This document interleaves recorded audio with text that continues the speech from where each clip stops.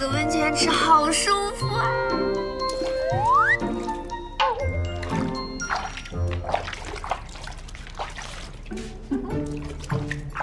这是失忆啦，我堂哥，七硕呀。我知道，但不是我们两个人的约会吗？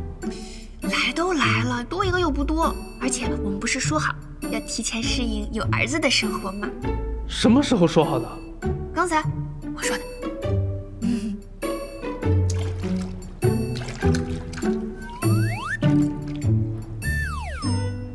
你管这叫儿子？兄弟，我也是被逼的。别说，来吧。挺冷的，快进来，一会儿水凉了。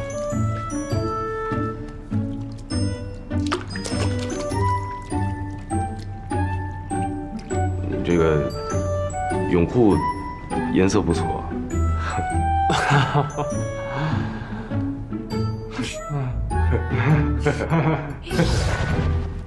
不如我们来讲一讲睡前鬼故事吧。什么鬼故事？那么我现在就来说一下游戏规则。现在呢，我们三个人一直不停的传递这盏蜡烛，传到谁的手上，如果蜡烛突然熄灭了，就代表 鬼来了。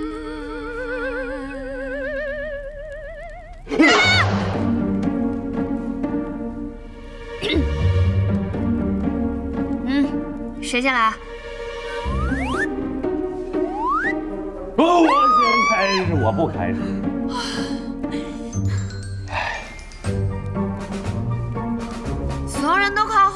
行吧？本女侠先来打个样。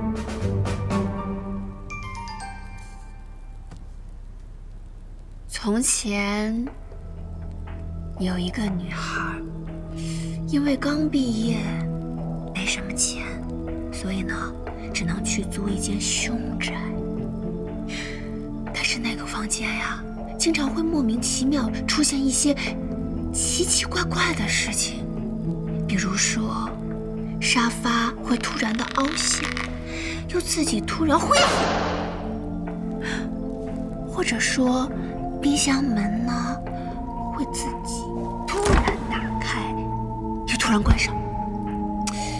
有的时候，房间里还会出现阵阵的脚步声。深夜还会听见敲门。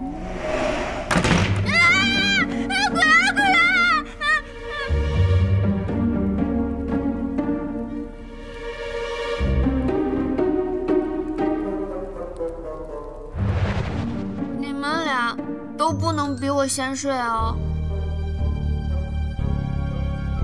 别害怕，我在呢。妈，我感觉我今晚又要失眠